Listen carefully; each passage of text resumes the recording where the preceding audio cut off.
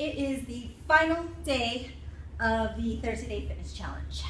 So today, I didn't really have a plan for what I was going to talk about. I actually wasn't even sure if I was going to be able to do the challenge because I've been very busy with the WLCC grand opening, which is this Saturday actually, um, as well as planning for the Warrior Challenge. But what I have learned over this 30 days is I was getting frustrated when I wasn't able to do the challenge every day, but at least um, I was able to keep going and I was able to um, have a goal.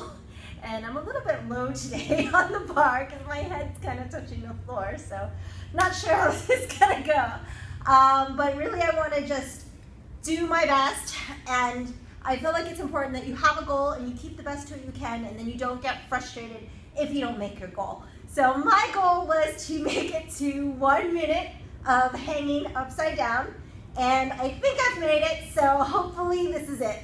Have a good day. Thanks for joining us for the 30-day hanging challenge. I hope you made your goal too. Bye.